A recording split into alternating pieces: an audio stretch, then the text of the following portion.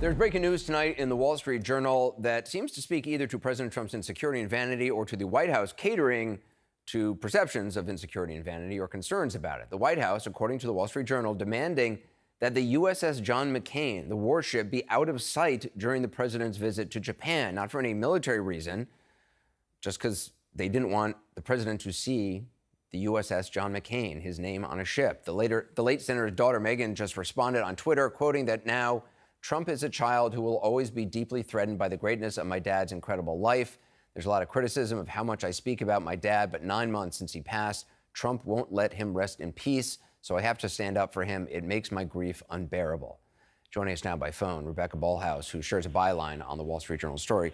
Um, I, uh, Rebecca, this story is bananas. The White House actually requesting the USS John McCain be out of sight during the president's visit.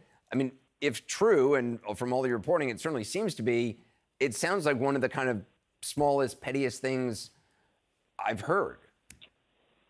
Well, I think it's fair to say that it was something that really stunned a lot of the officials who were on the receiving end of the directive. Um, we've reviewed uh, some emails that were exchanged between uh, various uh, Navy commanders and officials for the U.S. Indo Pacific Command. And both sides really seem taken aback by the request, even the person who was conveying the request from the White House military office. So, so you've actually seen seen the, the, the emails or the, or the directives, however they're sent.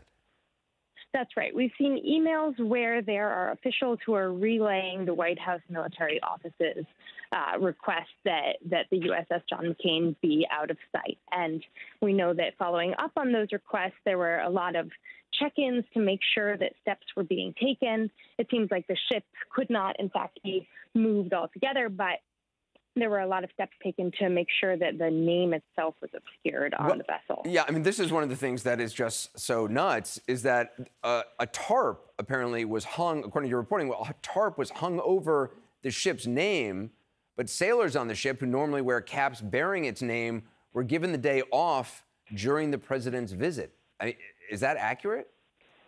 That's right. There seem to have been a couple of different attempts at, I guess, getting what the uh, White House seemed to want here. They, we know that they initially hung a tarp, I believe, on the Friday before the president's visit.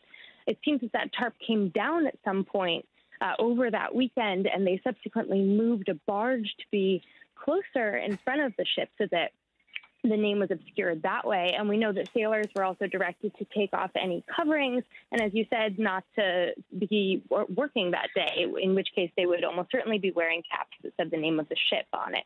So it seems like there were a couple different stabs at this.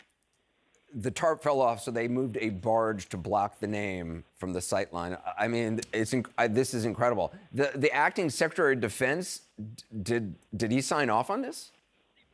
Well, to me, that was really one of the more stunning details in the story, even was that he uh, was aware of concerns about the presence of this vessel and did, in fact, approve measures to ensure that, uh, that I guess, seeing this ship was not going to interfere with the president's visit in any way. So I don't know exactly which uh, measures he did or did not sign off on, but we know that he was certainly aware and participating in. In, in one of the exchanges I read in your article, uh, it, basically, the, the response from at one point, the I guess the the White House office is saying make sure item number three is followed through on, and item number three is this. So this was a high priority.